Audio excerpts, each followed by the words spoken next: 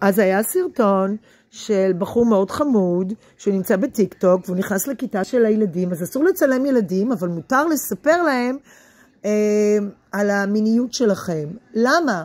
למה זה לא נושא מספיק חשוב שמלמדים אותו בבית ספר? כשמלמדים את הנושא בבית ספר, אז יושבים אנשים שהם מומחים, פסיכולוגים, ואולי ביולוג, וסוציולוג, ומומחים אולי במיניות אדם, ומומחיות בלהט"בים, ומומחיות בלא להט"בים, וחושבים איך להסביר את זה לילדים. לא לוקחים אבא שמסביר שלא היה לנו רכב, רחם, רכב בעייתי בעיניי, בעייתי מאוד, או היה לנו כיף. אה, ככה, אז uh, יחסים בין אנשים זה כיף, וכשנגמר הכיף, אז נגמר, נגמרים היחסים. זה בדיוק הבעיה בעולמנו, שהכל נראה כל כך פשוט, וזה ממש לא, נכון? יאללה, בואי נלך.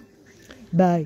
אז אני רציתי להסביר למה השארתי די הרבה הערות, כי ממש הרתיח לי את הדם שאסור לצלם ילדים, אבל מותר להביא מישהו לכיתה ולתת לו להסביר מיניות אדם בלי שהוא יהיה מורה ובלי שהוא עושה את זה בצורה, לדעתי, אה, קצת יותר פדגוגית, שמציגים את הנושא, כל מיני אספקטים.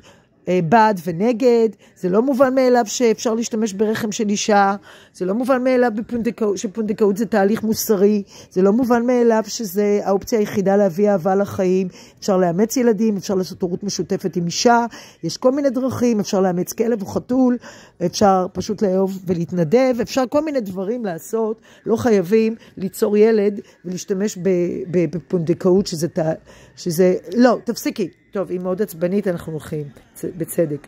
כלב לפעמים מאלף אותנו גם. יאללה, לזוז, ביי, יום טוב. ויש לנו הרבה בעיות כרגע במדינה. אני מאוד מקווה שנלמד לכבד אחד את השני ולדאוג אחד לשני, ולא להיות שטחיים ולחיות בבועה של עצמנו. תודה.